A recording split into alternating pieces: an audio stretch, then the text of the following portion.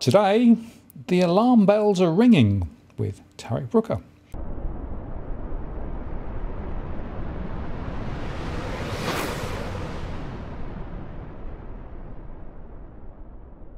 Hello again, it's Martin North from Digital Finance Analytics, one of the latest posts covering finance and property news with a distinctively Australian flavour.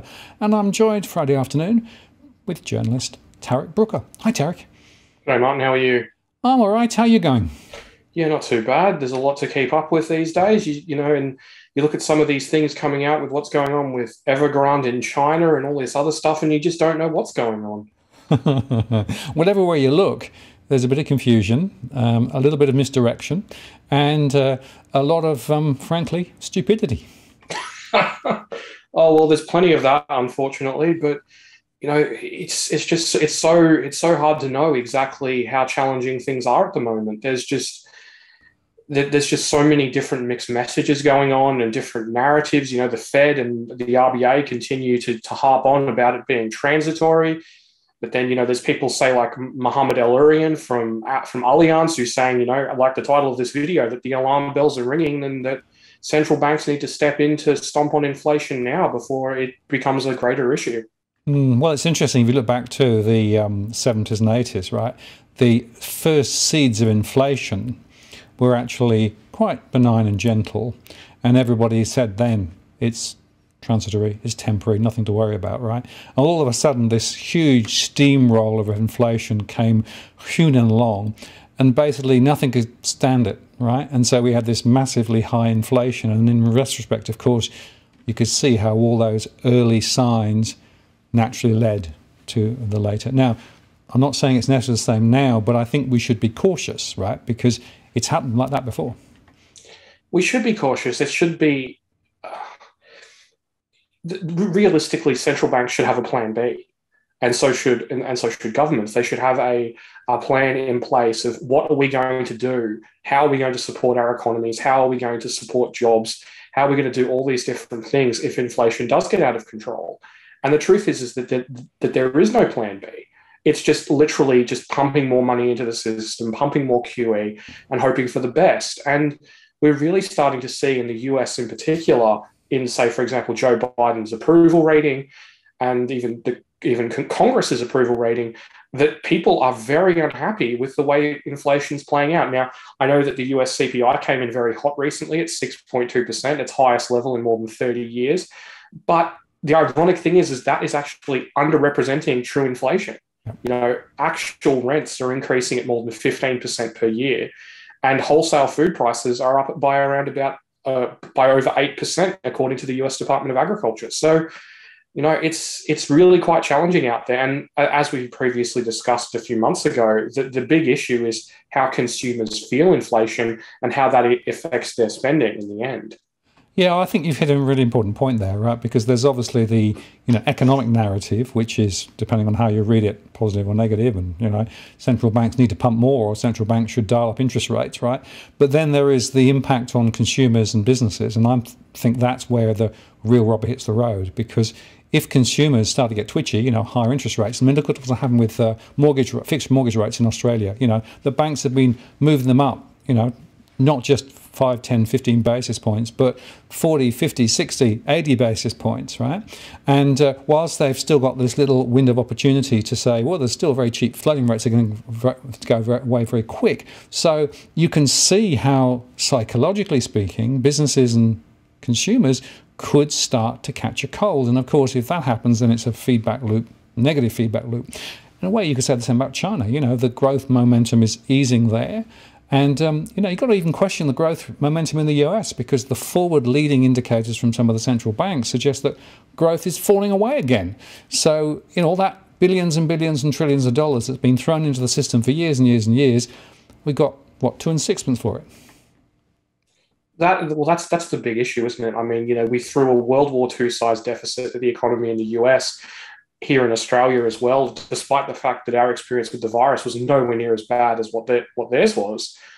But what do we realistically have to show for it? Do we have, you know, heaps of new hospitals, new schools, new roads? You know, the, the, the things that we traditionally associate with with government spending. No, we have a bunch of mostly wealthy people with loads of money in their bank accounts and a bunch of new home renovations and expensive used cars. And I mean, just just also on the topic of, of China and inflation, I mean, their producer price index is up at its highest level in what is it, 26 years, I believe. You know, 13%, I believe it was at the last count. And I mean, if that starts feeding into their CPI and they start exporting inflation, and that becomes you know entrenched, it, it's it's game over. That's it. You know, we're going to need to raise interest rates and keep raising them until we put put put a lid on inflation. Because if not, we're just going to have it will be 1970s runaway inflation if that feeds in and, and stays there.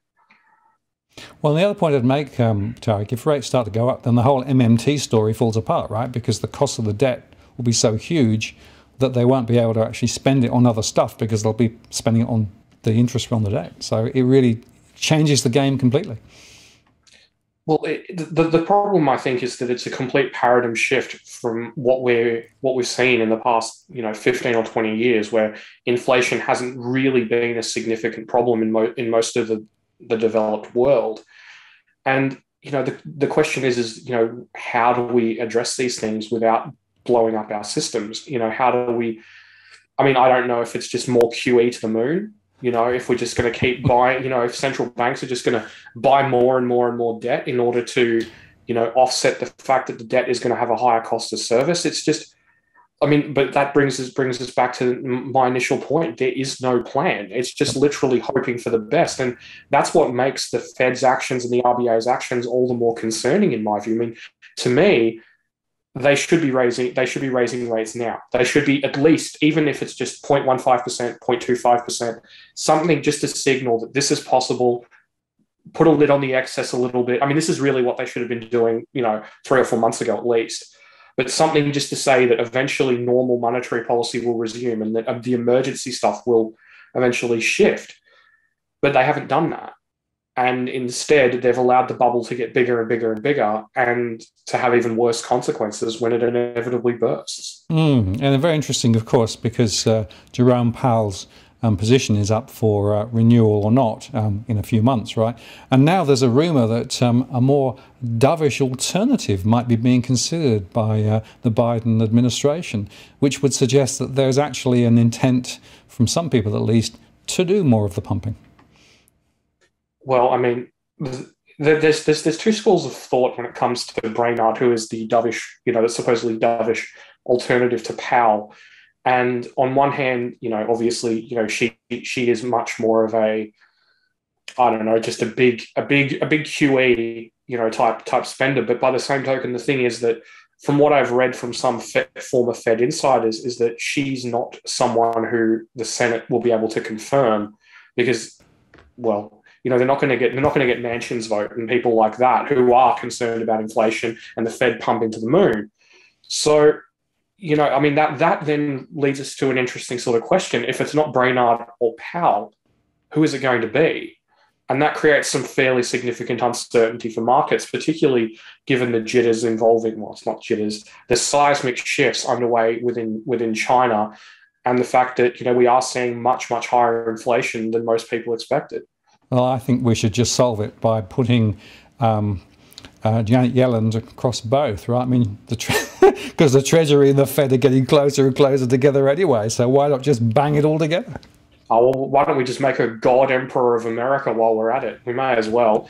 You know, I mean, it's it's just everything's all just it's all just together at this point. You know, any hmm. any ideas that you know that the Treasury and the Fed and that the federal government, you know, were different and that they had you know these these different agendas and these these different competing um, policy goals it's just it's just gone. It's just you know let's just pump the debt. Let's just throw more money at it. You know it's okay. It's not all this trillions of dollars isn't going to be inflationary. And it's like what? What? Okay i get yeah. that. wages inflation is different from real inflation. Come on. Oh it, honestly, I, I, look at the commentary going on at the moment. You know, oh, inflation is good. It's good for poor people. It, you know, it's a real problem for the one percent. It's like, oh my god, seriously, just just shut up. This is seriously like worse than worse than Marie Antoinette stuff. And and not only that, but they're just like, oh, but but Biden's infrastructure package is going to solve supply chain issues straight away. And it's like, no, it won't.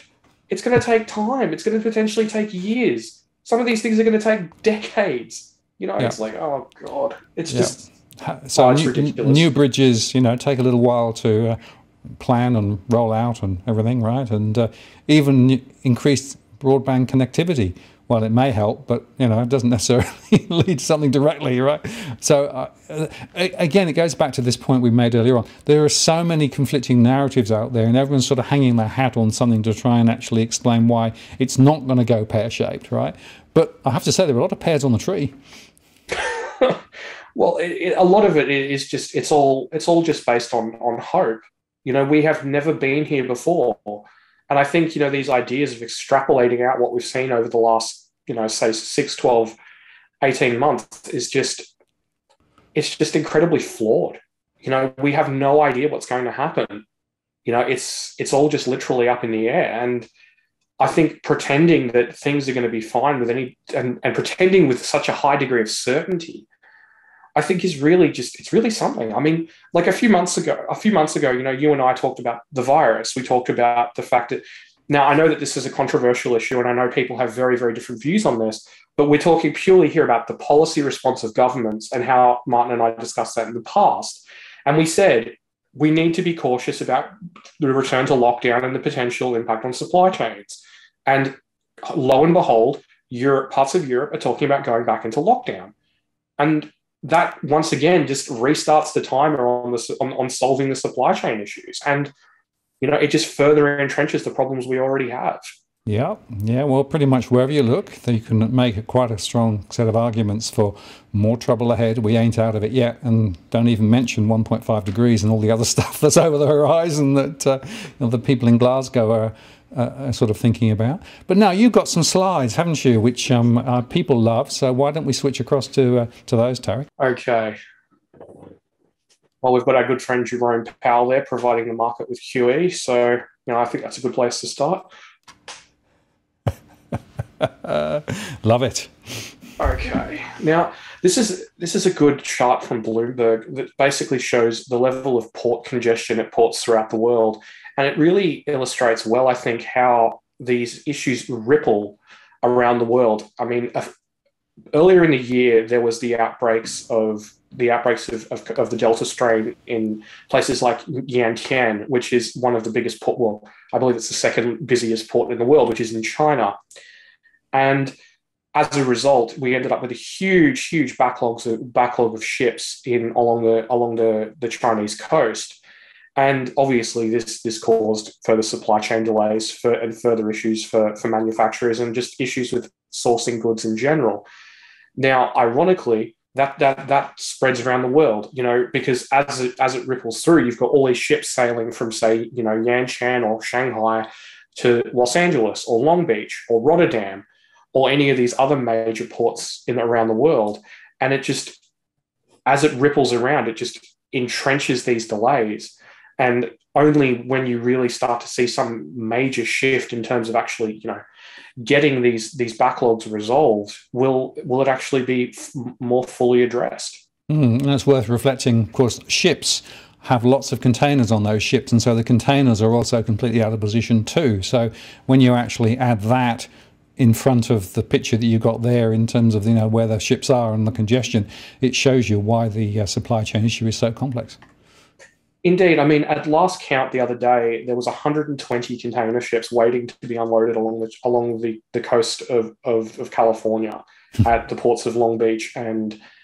Los Angeles. And that each one of those ships, I believe the, I think this is, don't, don't quote me on this, but I believe the estimate was about 22,000 20 foot containers per, per ship multiplied by 120 ships. so you're talking about you know, literally millions and millions of containers, you know, multiple millions of containers in, into an economy that only imports 26 million 20 foot equivalent containers per year. So you, you may quite literally have 10% of annual US imports, containerized imports, sitting off the coast of, of, of Long Beach and Los Angeles right now. And that just illustrates just how enormous the flow of, of these items is and how much of a shock it proves to the system when you literally have sort of 10, 10 or maybe even close to 12% of the total volume of trade coming in at a single time, which then needs to feed into the rest of the country through rail, road, and other logistics. Yeah, and the point, of course, there is it's not only just uh, retail products and services going direct to the shops, but it's also materials and components for other things that are built in the US. So again, it's got this sort of turn on effect, right? So basically, the more and more those raw materials and uh, components are actually trapped, uh, the bigger the impact more broadly. So the idea that this is just transitory and everything's going to get fixed in a few months seems to me to be very, um, myth- well, at best a myth and quite more like a fairy tale. Well, I- indeed, and that's something that that's a, a position that experts share. The port, the officials at the port of Rotterdam said that these delays and these issues are going to continue well through 2022.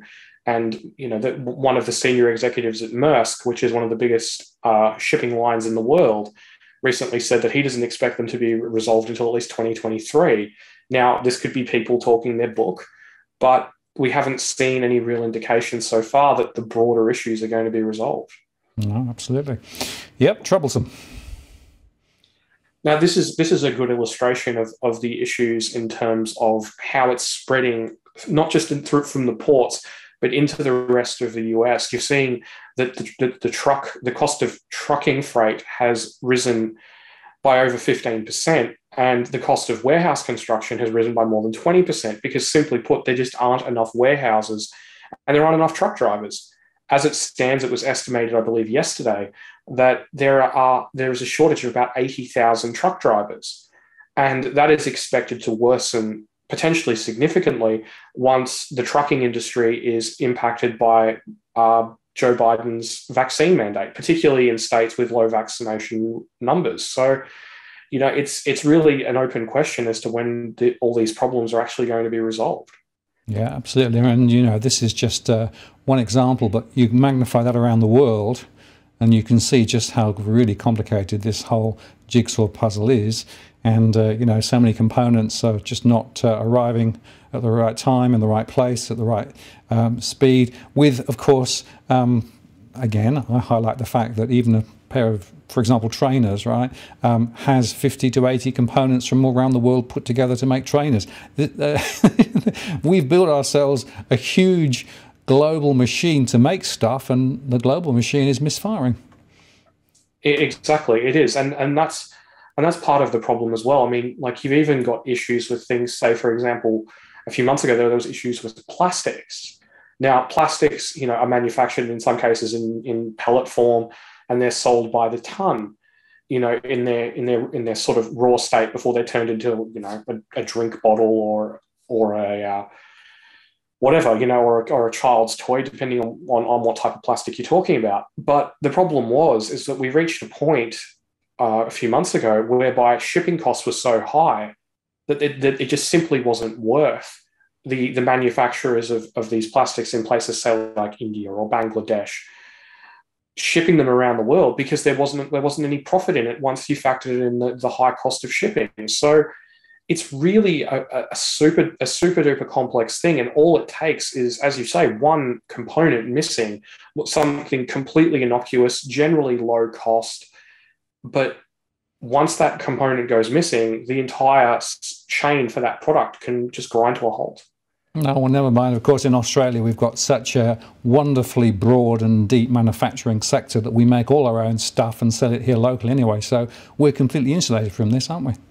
Oh, yeah. I mean, it's not like we, it's not like our, our construction sector has seen material costs rise up to 15% and that, you know, that this could potentially, you know, completely inflate the cost of new housing, and you know, not only that, but they're from you know, I mean, I, have had I've had mates who are tradies who've been sent home because there wasn't enough materials because of supply chain issues. So, you know, there there are a lot of, of, of concerning indicators there, and the truth is that we don't know. I mean, things perhaps things will turn out for the better, but by the same token, perhaps they won't. now, this is a good uh, chart from Oxford Economics that shows basically in a, in a very, very broad sense that supply chain issues are actually getting worse, not getting better. That the stresses on supply chains are actually getting greater. And the thing is, if we do see continued issues with with lockdowns in the northern hemisphere, particularly in China, where there's been a rather large outbreak in the in the port city of Dalian, um, we, we we could see some rather significant problems. And if they go back into lockdown, you know, once again, it just it just restarts the clock on all these supply chain issues, and we're going to be having the same conversation five, six, 12 months, potentially 12 months from now, that, that these problems continue to persist. And as it stands from what I've read from experts who do have a bit of an inside line as to the, the priorities of the Chinese government, China's zero COVID policy is going to continue over winter and into next year. So if they can't get Delta under control, and if they we do see continued lockdowns, you know, we these these supply chain driven inflation issues are going to continue, and the Fed's narrative is going to be in tatters. Well, greater tatters. Yeah, absolutely. And interesting among that, um, I was uh, reading today of um, because of the COVID outbreak that uh, some trains heading from one place to another place in China were stopped, and everybody was bundled off and taken essentially to uh, supervised um, uh, facilities uh, while they were tested and um, you know put in isolation for quite a few days. So suddenly they, their plans were rather changed, and other people had gone on um, holidays to other parts of uh, China um, uh, through the Golden Week, um, couldn't get back because essentially they they were locked down.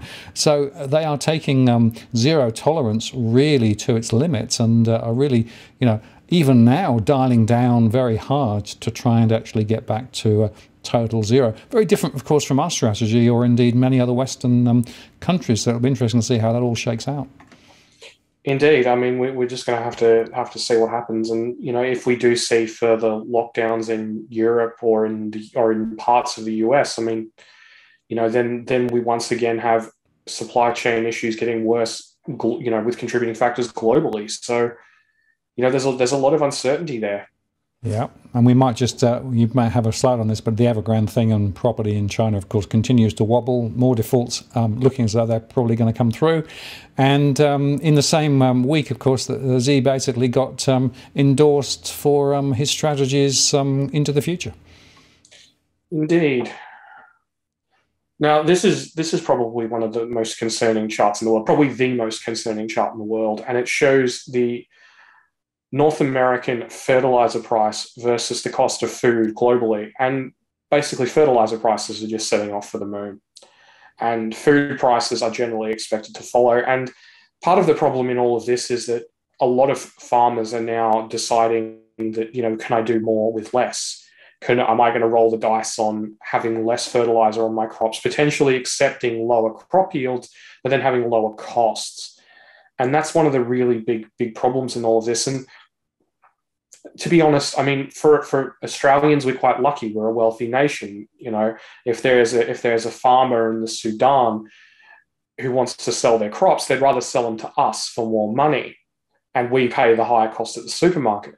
But for the locals, they're the ones who miss out, and that's one of the reasons why fertilizer prices and food prices are such a huge issue from a social, political, geopolitical perspective because they can undermine governments, and they have in the past. I mean, if you look at the the peak of the UN Food Price Index there, which peaked in early 2011, that coincides with the Arab Spring, and and uh, food prices, in particular wheat prices, were a heavy contributing factor in in those in those in that social unrest.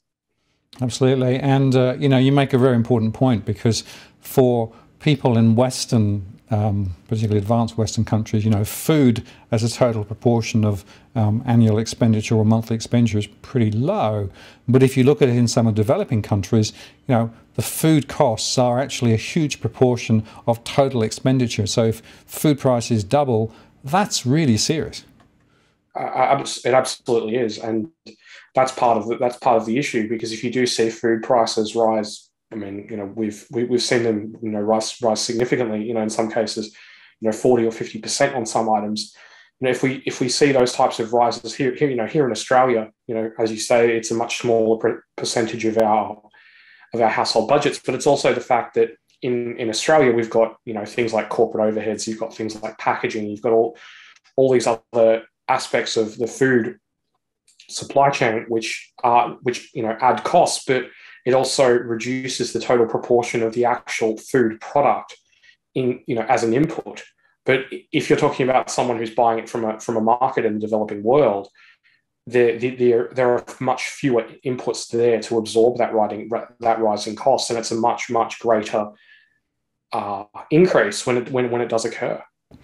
Yeah, and I would remind you in Australia, you know, a good proportion of households um, have less than one month's savings, so they've got very little buffers, even here in Australia, with um, you know cost of living rising and with inflation much higher than the uh, official numbers. So you know, it doesn't take much to tip uh, more people into severe strife, even here in Australia, as you say. It's uh, you know different from overseas in some developed areas, but still, even locally, we could see some significant pressures too. Well, that's that's one of my one of my major issues with the the RBA and its its inflation is transitory, don't worry about it narrative. Just that the increase in food prices, the increase in rents that we've already seen. Now, I'm not talking about the ones that they that they report in the CPI, but the ones that people are actually experiencing, you know, on on on their day to day, is much much greater than than raising rates by 1.15 or 0.25 percent in, in net terms on the on on the economy. Yet we persist in this idea that somehow raising rates is the end of the world and that taking rates even back to where they were prior, prior to COVID is like this just evil thing that only people who, who want to impose pain and misery on the entire populace would ever possibly consider doing, while completely ignoring the fact that the vast majority of people don't have a mortgage. And even those that do owe so little on it that that at the end of the day, even if rates rise by 1% or, or even 2%, a lot of them aren't going to have any ha, have a problem because their mortgage originated when rates were at 4% or 5% or 7 or 10. But you know that that's that's not really part of the conversation for reasons that escape me. Well, of course, the other issue there, you've got the marginal borrower, the one who came in recently when rates were really low and were highly leveraged, and that's where a lot of the pain will be initially felt. Um, and once again, uh, all of the um, historic data, like from Hilda and places like that, aren't taking account of those recent changes. So we have a very, very weird, skewed story, right? And in fact, you could argue the policies are being um, targeted at those with high levels of debt but as you say, not everybody's in the same boat. And if you're actually looking for any savings returns from deposits, then forget it because basically term deposits are still way down. And interestingly, even NAB's results this year, uh, the, the, yeah, this year's results that came out this, this week, I think it was, or was it last week now, um, showed that. Uh, margin compression is still very, very strong. So the banks aren't necessarily actually benefiting. But, you know, the deposit rates are so low, low and um, rates are very, very low, and everybody grizzles when everybody talks about putting the rates up at all. Exactly, and um, I mean, you know, ho- ho- hopefully we, we, we see some adults back in charge again. But I'm not, but I'm not really hopeful to be completely honest with you. ah, well, you've got to remember, right? Remember, remember that the strategy is lend people more so that they can borrow bigger mortgages, so that they can buy bigger properties, so that they can see their house prices go up, which means there's the wealth effect. So people feel really more wealthy, so they're going to spend more. Hence rising GDP. And uh, of course, there are more people with properties than those without properties. So effectively, from a political perspective, it's a winner. I mean, that's the that's the real narrative that people don't necessarily want to come come to terms with, right? The political momentum and the economic momentum is keep prices high, keep lending more, never mind the risks. Well, I mean, I'd really like to add some commentary to that, but I think you summed it up pretty well, unfortunately. Sorry about that. okay, this is the US CPI, which, as you can see, has basically gone, you know, to the moon in relative terms. You know, it's at, at, at its highest level since since the early 1990s. And one of the things I, that I will point out in this chart is when inflation hits this this level, when it, it rises so so swiftly, when it hits you know such a high to high level, you really do normally you can you can see what happens. Normally, you get a recession, and that that's obviously you know well caused but contributed to by by central banks raising rates. So I mean, it really does make you think what we just in a very, very fast forwarded version of a, of a normal cycle, whereby we will see the Fed or we will see central banks raising rates next year. And that will be the end of this cycle. No, and no different to the one that occurred in 2008 or even the one that occurred in, in the early 1990s. Well, there is definitely an argument, and I think there's some merit, and that we are ultimately going to see a deflationary um, story coming later, right? So the inflationary thing, they might put rates up, but economies are slowing in many countries around the world, and um, if people stop borrowing and effectively, you know, hanker down, then we could actually be into the deflationary element. So the interesting, real philosophical question is: Has the economic cycle suddenly been bust because of low interest rates and all quantitative easing, or as you say, is it just accelerated? And are we going to see the old history playing out? You know, history may not um, repeat itself, but it sure does rhyme. Well, it, it, it may well it may well. I mean, I think I think one of the things that's important to keep in mind in all this is that around the world rates are already rising. You know, we we are the the exception in, in, in many ways here in the West. You know that you know we you know we've got the RBA saying oh, we're not going to raise rates until until 2024 but you know, then you've got the in in say in the US as of as of yesterday, three rate hikes are priced into futures, and by the end of next year. And if you look into in, in other places, you know, Brazil, Ru- Russia, the Czech Republic, Poland, you know, all throughout the world are, are, raising interest rates. Even in places like like Korea, you know, rate, rate you know rate hikes are coming, and you know, eventually you know, you, you, you have, you'd have to think that the, the rate hikes will arrive unless, of course, a slowing global economy arrives, arrives first. Mm. Well, I actually have a theory that we'll see some rate rises and then they'll have to reverse course again, right? Because effectively the uh, dampening effect of those rate rises will be uh, quite significant. And I'll also make the point RBA, of course, having turned off yield curve control, well, they, they justified it because its time had come. The truth is, of course, the markets basically forced them to do it.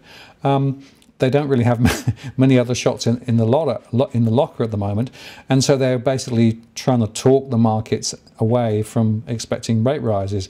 But the interesting question is to what extent forward guidance really has teeth if the markets really get their, um, their you know, th their thoughts uh, in a different space. And those fixed mortgage rates, you know, 50, 80 basis points higher than they were a little while ago, um, gives me a very strong sense that we're going to see rate rises higher in Australia than the RBA's um, current predictions.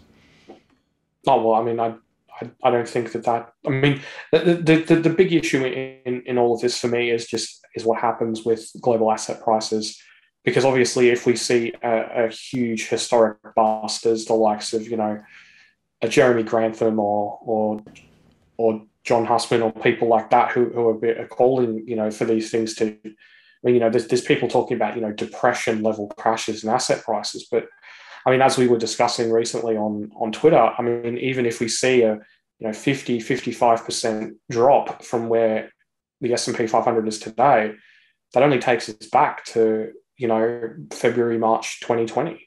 It's not, you know, I mean, it's going to be seen as the end of the world by Wall Street and by, you know, a lot of people who bought at the top, but purely in terms of just the, the, the number, the underlying numbers, I mean, it's it, it shouldn't be the end of the world. But I mean, that's what happens when you when people just bet everything on on the Fed and on rising asset prices. Well, the markets are still banking on the Fed rescuing any prospective fall in the markets, right? But, you know, as I said in that Twitter conversation, the theory of a stock price is it should be the net present value of future cash flows, right, discounted to an appropriate rate. So if rates go up, then that does change it. But most of the stocks in the S&P 500 are way, way, way highly priced in the S&P 500 than their future earnings would suggest they should be. So we've actually got a complete disconnect at the moment between what I would say the true fair value of stocks is and what market's value of stocks are. And that is the difference created by the premium, which is the confidence in that the Fed will always pump if necessary, right? And that ultimately is what the markets are betting on. I, I think I think that part of the a really interesting part of that conversation is that as things evolve, that now includes the People's Bank of China and the Chinese Communist Party in that in that metric because you can't have a slowing China to the to the degree that it that it is currently, to the degree that it may occur if it allows its property sector to continue to undergo this controlled demolition. You it, you know in, unless unless the, the Chinese Communist Party and the Chinese government rescue the sector and bail it out in the same way that, that it has been before, you are going to see slower Chinese growth. You are eventually going to see some adjustment in Chinese property. And we're completely unprepared for that. We're completely unprepared for the for the drop in commodity prices, for example, here in Australia. But we're also completely unprepared for that drop in, in Chinese household wealth, in in in weaker Chinese consumption, in the fact that, you know, say for example, uh, one of the one of the most impacted companies in all that would be Germany. 47% of their GDP is exports, and a, and a large share of those exports flow to, the, to, to, to China. So, you know, you, we live in this globalized world, yet too often I find Wall Street and analysts and all these other folks ignore what's going on in the rest of the world. I mean, the rest of the world is tightening monetary policy. They're, they're, they're trying to put their, their boot down on inflation to keep it low, which is obviously going to, over time, slow their economies. And all this is occurring at a time when everyone thinks that the Fed is going to save markets and markets are going to continue to go to the moon. And maybe they will. Maybe they will for quite a lot longer than we expect. But in terms of the real global economy, things are things are quite a bit more challenging.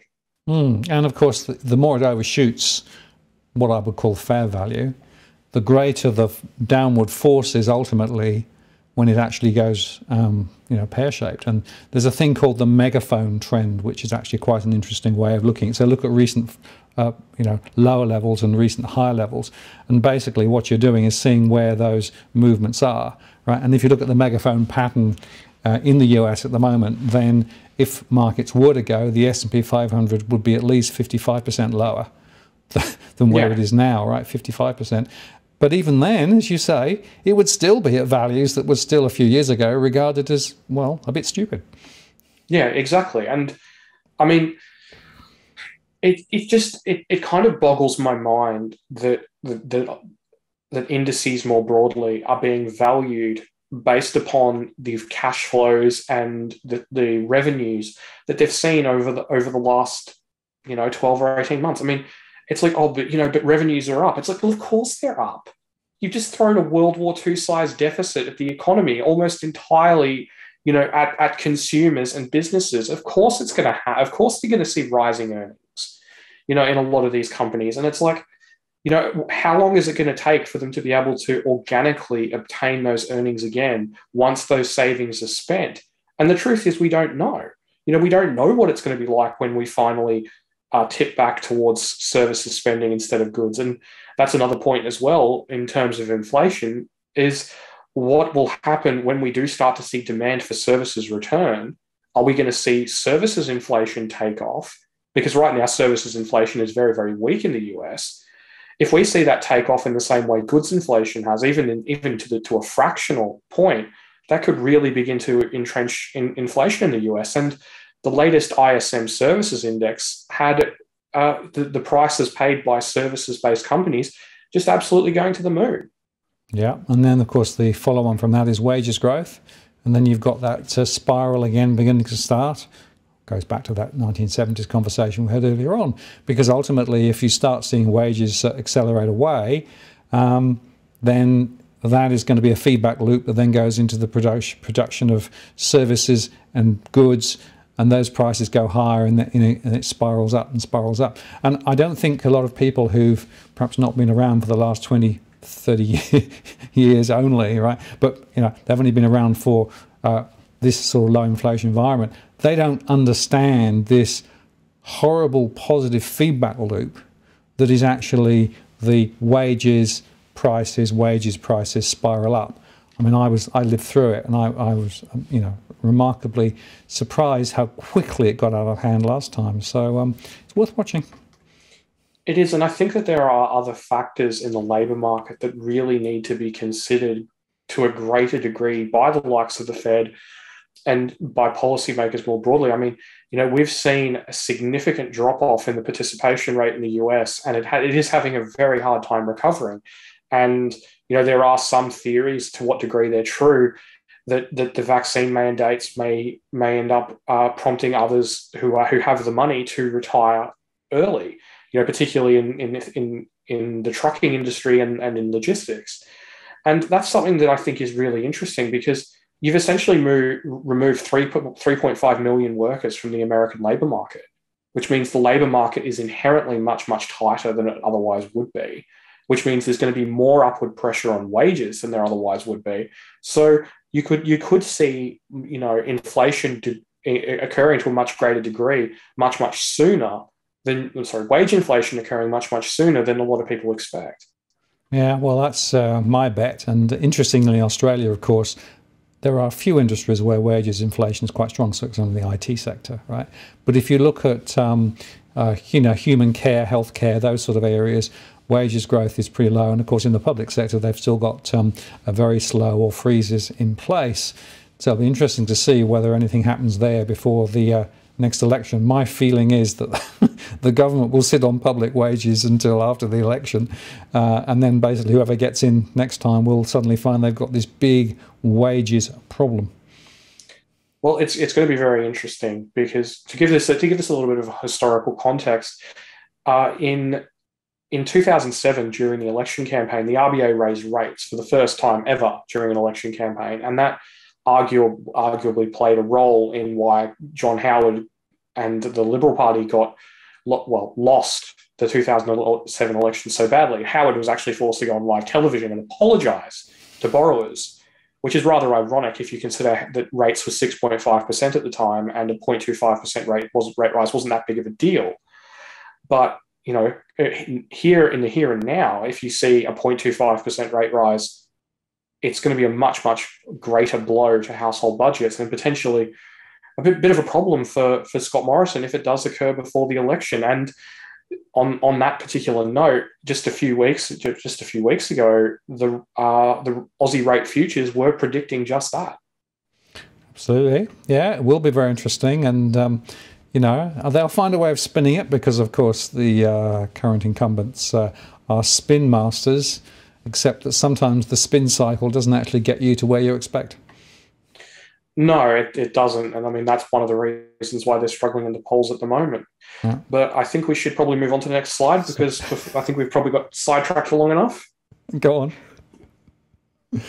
Okay, this is that chart of Chinese producer prices, highest level in 26 years. And this is part of what we were discussing previously, because if you do start to see consumer prices rising in China, if you do start to see these uh, these inputs feed in these these price inputs feed into the to global supply chains, we're going to have some rather significant problems. I mean, we've already seen uh, chip manufacturers raise their prices between 5 and 15%. We've even seen people who, uh, we've even seen Chinese tire manufacturers, for example, raise their prices by more, by 10% or more, which is, I mean, I, I don't know about you, but I mean, when, when I when I was younger and I needed cheap tires for my car, they were cheap Chinese tires. And you know, if they're going to get ten percent more expensive, that's something that's going to feed into problems even here in Australia. And if that feeds into a broader uh, inflationary push across industry, then we're, we're going to have an unprecedented problem of China of China exporting inflation instead of effectively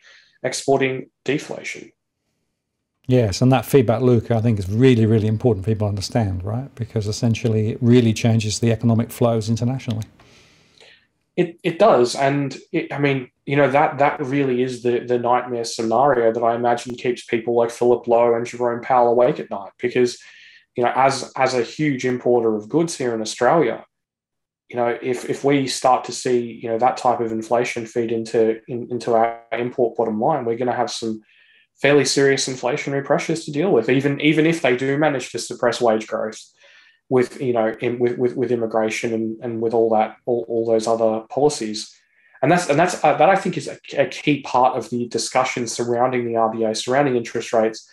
Now, I, I personally don't think that they're going to be able to hold off raising rates if we do start to see this feedback loop of rising import costs, because at the end of the day, uh, Aussie Aussie wage increases are so sorry, Aussie wage data is so lagged and wage growth tends to be a lagging indicator more broadly, that we, we could see some fairly significant problems occurring in terms of inflation if this particular scenario does come to pass long before the RBA wants to raise rates, but they but they may not have a choice. The market the market may put funding pressures on the banks, and the RBA may be dragged kicking and screaming.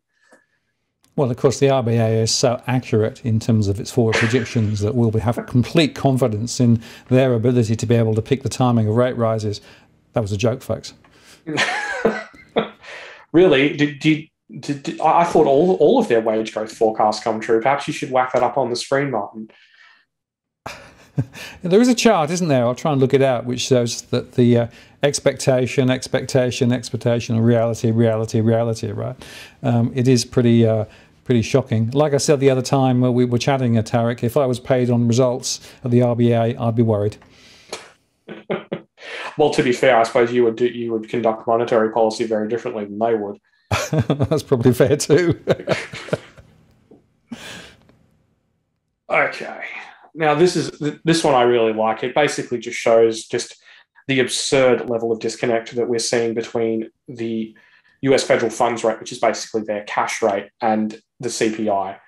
And it just it just makes a mockery of monetary policy, in my opinion, to be completely frank with you. You know, I mean, it's it's deeply negative. It's ridiculous. And even if you look back as far as like the 1980s, when inflation was heading for the absolute moon, you never saw it this this this negative, and it's just it's just absurd. I think. I think that we just need. I think we just need a clean out of monetary policy and just a reset because it's not working. Well, I agree with that. Um, monetary policy has been, um, frankly, mishandled uh, for a long, long time. Um, the results have not actually played through as people expected. They've just done more and more of the same. Basically, you know, if this doesn't work, well, we'll double it and we'll double it. And of course, the other point is you have to have a, a logarithmic increase of quantitative easing to get any impact, right? And like I said at the start, if you think about all that money that's been thrown into this around the world, what have we got for it? No, two and sixpence. So time for a different review, a different sort of way of thinking. And frankly, there should be a review of the Reserve Bank and its role and mandate and its efficacy, because I actually think this fundamentally questions, to my mind, what is a central bank for? Who is it really serving? And um, how do you measure its success? Because at the moment, I think on all those three, I would say it's not doing its job. Indeed, and I'd, I'd personally like to see monetary policy be assessed within the context that it's meant to be assessed. I mean, the idea is you cut interest rates, businesses invest, businesses create jobs, businesses drive in, inflation to within the target band. That's generally what's meant to happen. That hasn't happened for almost a decade. We haven't seen rate rate decreases spur business investment. In, in fact, business investment has continued to collapse pretty much year after year for almost a decade now here in Australia. And if it's not achieving the goals that it's meant to achieve, then why keep doing it? And you know, shouldn't you know? Instead, all we've done is is hollow out households reliant on fixed income, make more retirees reliant on the age pension, made more people pay higher taxes for these retirees who are now reliant on the age pension, and create bigger deficits. And it's just ridiculous. But, in, but there's absolutely no real discussion of these factors. I mean, I think that we should have interest rates at a level where a self funded retiree who has too much assets for the Centrelink uh, pension test should be able to comfortably support themselves on relatively risk free assets because that's what is meant to happen. That's, that's literally the mandate. But, you know, we just pretend that it's not a problem and all the, you know, these retirees either take bigger risks or the, the capital dwindles and they end up reliant on the taxpayer. And I'm not saying that they don't they're not entitled to that. They absolutely are, but but we should have a system that doesn't make them reliant on that in the first place, so they can stand on their entirely on their own two feet. Yeah, well, we've come so far from you know, a balanced policy and a sensible policy, and it's partly because of the politicization of the Reserve Bank, and it's partly because of the fact that the fixation on property prices and asset price acceleration um, it has basically been the key focus because you know that does feed into GDP, but unfortunately it doesn't work. The economy is not a better in better shape because of it, and there is no accountability either within government nor indeed in the RBA itself for any of those policy mistakes, which I would argue have been in place probably for best part of 30 years, not just 10 years, but the last 10 years absolutely accelerated. And yet, the mainstream political class and the mainstream um, you know, media um, don't want to mention this, don't mention it, you know, don't mention the war. Well, I will say I must. I will say that, that, that there have been a, a, couple of articles recently that have been that have covered this really, really quite well. That that the that these issues are becoming entrenched. That they that they are deep, deep seated social problems that are creating, you know, this this underclass. This uh, you know, just not just from an economic perspective, but from a social one. There was there was a, a parliamentary Senate committee that that did a report into housing prices and housing affordability back in 2007. And it's, it's actually quite interesting reading because it, it, it came to the conclusion that how, that um, that home ownership was key to, to, to, to, community, to society, to people, to people participating in their local communities, to engaging, to giving people a sense of belonging. It, it, it has it has a positive uh, it has a it positively contributes to to um, community engagement. It positively contributes to better outcomes for people, uh, for, for their for their children, for just everything more broadly. Everything that you can possibly imagine is well, maybe not everything, but most things, the most quantifiable things, are better when you have a higher rate of home ownership because it gives people a sense of belonging and a stake in the system.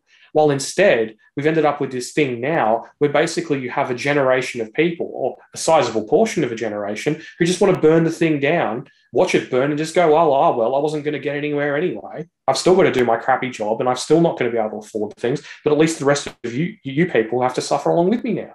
And that's not a positive thing for a society. No, and as we've said before, of course, with all this focus on property and investment in property and all of the lending to property, it sucks out the economic air more broadly. It means we're not investing in the things we should be investing in. People have a ever greater fixation on property. It becomes effectively all in, encompassing. And I, I, may have mentioned this before, but um, Douglas Adams, the Hitchhiker's Guide to the Galaxy guy, wrote a wonderful piece called um, in, in one of the sort of sections called the shoe event horizon and basically um, it, what you know, the story goes like this briefly. You can actually look in a lot of planets around the solar system, right, and they all have a shoe event horizon because basically more and more of the high street ultimately gets uh, turned into shoe shops, right? And ultimately everything is just shoe shops and then the society collapses, and then uh, you know millions of years later they'll find this sort of laminar layer of of leather and nothing else because effectively the total fixation on just one thing. Well, it may not be a shoe event horizon, but I think it's a property event horizon that we're actually facing at the moment. And unfortunately, so, and I think it should be added in all of this that the RBA knows that, that this is hollowing out the economy. Their own research has, has shown that. They, it has shown that higher levels of household debt basically mean people spend less on other things. And I mean, it may sound obvious to you and and to everybody else who, who's paying attention. And I mean, you as a viewer, not just not just Martin. I know it's fairly obvious to him as well. But and that then the Bank of International Settlements has come to the same thing, and the Reserve Bank of New Zealand has come to the same conclusion. Yet instead of going, oh crap, we're we're hollowing out the economy, we're limiting economic growth, we're limiting opportunities, we're increasing inequality, they just keep doing it anyway regardless of what their own research and what their own findings actually say. Well, that's why I think it comes back to a politicization of the RBA, right? I don't believe they're objective independent. I believe that they're actually part of the um, political and social process that's actually got a particular doctrine about it, you know. Um, that's the problem. Um, I don't think it's being objective, it's not being independent, it's not actually doing the right thing for the broader Australians. But of course, the property sector is um, booming and uh, house prices are going up, so everyone's happy. No, no, no, no, no. We need a different set of realities here. And, uh, you know, at some point, this is going to come unglued and people are going to have to wake up. But unfortunately, that headache is going to be a big, long hangover. Well, I'm not going to say unfortunately, but indeed now this is this is the last one for the for the week, and it basically just shows that the, the cost of Chinese USD junk bonds has basically headed to the absolute moon. And I actually think that there's been another chart released today since this one was posted, which basically shows that that uh, yields on Chinese junk bonds, which is basically their their annual borrowing costs, are up to about twenty five percent, and that is just an insane number. And that's one of the really, really big issues that, that Chinese property developers are facing at the moment because the property developers who are borrowing for new projects or the ones who are rolling over debts are now turning around and going, crap.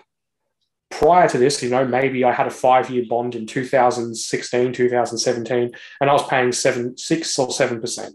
And now I want to refinance that and I'm paying 25%, provided anyone will actually lend to me. So that's how this could really get quite ugly. And part of the problem in all this as well is how much of this debt is off balance sheet? How much is owed into this shadow banking sector that's murky, that's that's dark, and that we don't really understand that well. And I mean, even Evergrande alone has about $155 billion in off balance sheet debts, according to a Goldman Sachs analysis, which I believe is probably more debt than, than 75% of countries have it in the in, in most of the world. Yeah, I remember talking to Harry Dent some time ago.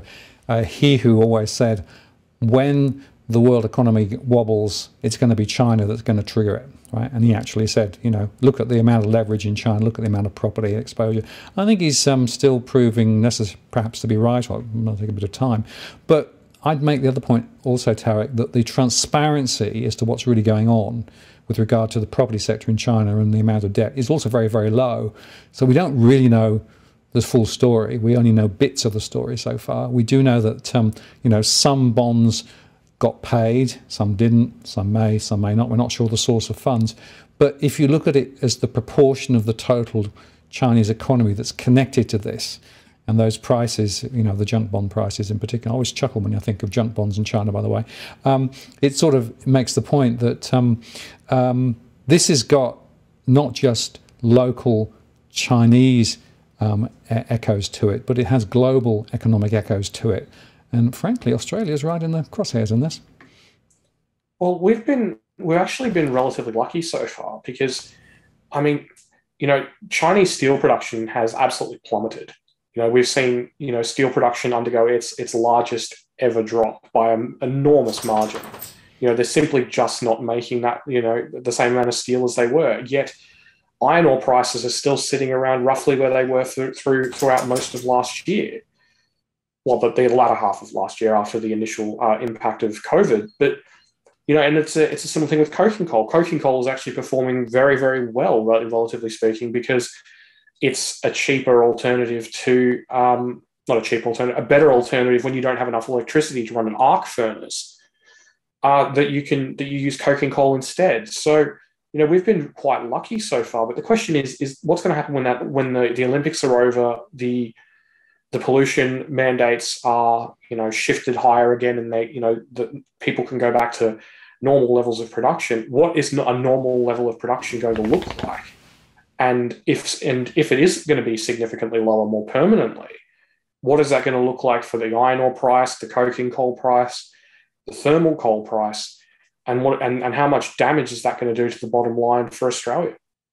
Yeah, and um, it's probably a good place to draw the show to a close, Tarric, insofar that uh, we know that there are lots of things out there that are looking pretty ugly at the moment, right? But uh, hopefully, people will have uh, enjoyed um, at least exploring some of them with us. Um, you know, we're going to have to come back and uh, talk a bit more in another show about some of the consequences, I think, because, you know, there are so many warning signs. And I guess, you know, I don't know what you think, but to my mind, the real message from this conversation is don't necessarily believe everything you read in the mainstream. Don't necessarily believe what the markets are telling you because they're only telling you a, a very small proportion relative to the total picture. Well, I think uh, in yesterday in particular really showed that not even the market has a handle on all this. I mean, we we saw you know Chinese property companies go to the moon on this announcement that the Chinese government was pulling back on on some of these restrictions around around borrowing around the property developers. And then later that night, once the market closed, we found out that that wasn't even true.